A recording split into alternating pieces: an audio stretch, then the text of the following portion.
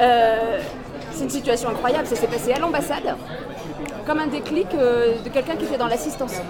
Oui, l'ambassade, la rencontre entre euh, la réception faite par l'ambassadeur avec les milieux d'affaires avec lesquels on était en contact, et un homme, après avoir monté la Normandie sur tous ses aspects, qui vient me voir et qui me dit voilà, je cherche désespérément des vaches pour fournir mon abattoir.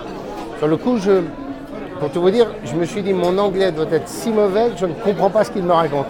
Et, et j'ai fait répéter et j'ai bien compris qu'il cherchait en effet euh, un, un premier, un premier cargo de vaches euh, pour faire un essai avec éventuellement euh, la possibilité d'en faire d'autres. Voilà. Et il va les transporter en avion.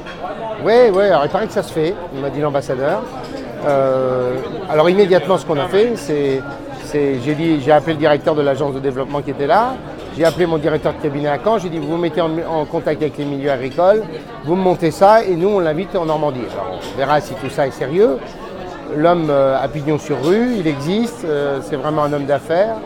Euh, bon, maintenant, euh, voyons concrètement si cette histoire pourrait en effet déboucher, ce qui serait plutôt une très bonne nouvelle pour la Normandie.